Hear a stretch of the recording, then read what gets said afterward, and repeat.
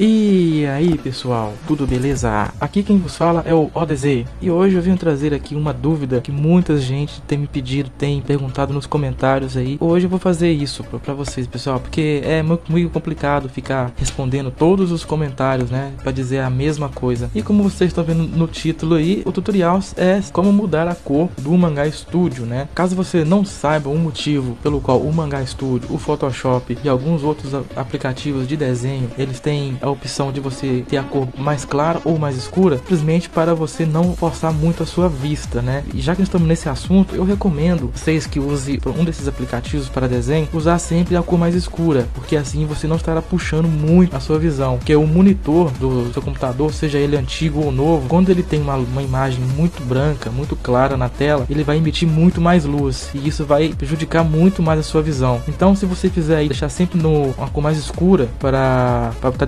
desenhando, tá mexendo em algumas coisas, é muito melhor porque aí você não agride tanto, entende? Então chega de enrolação, vamos lá. Como que eu faço para mudar a cor do Mangá Studio? Primeiramente, você vai ter que ter a versão X do seu Mangá Studio, como você pode ver aqui em cima, é a versão EX, né? A versão X. Sem essa versão, essa extensão X, você não conseguirá mudar para mudar a cor dele, entendeu? É somente nessa versão para cima. Se você não tem essa versão instalada no seu computador, você pode acessar um link que está na descrição deste vídeo e lá você vai encontrar o tutorial para o vídeo, né? Ou você pode estar clicando aí na tela e agora deve estar aparecendo alguma coisa do tipo, ou no card aí em cima, não sei. Eu não sei como é que eu vou fazer para vocês clicarem, mas tá tudo na descrição, galera. Cliquem lá, aproveitem e já curtem minha página, beleza? Vamos lá. O que você vai fazer agora é vir aqui em File e vir aqui em Preferências ou a tecla de atalho Ctrl K. Vindo aqui em Preferências, você vai vir em Interface. E logo aqui você vai ver aqui, ó, Theme of Color Combination, né? O tema que você vai usar. E é só você mudar aqui, muda de light para dark e aí pronto, você já tem aqui é,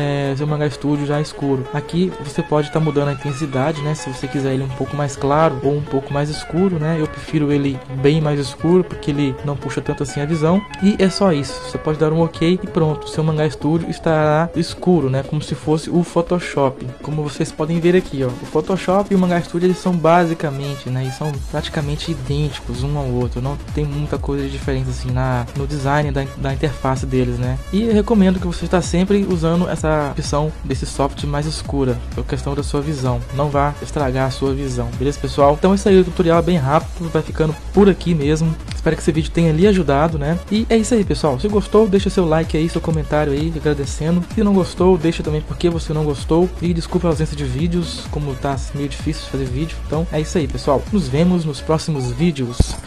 Falou!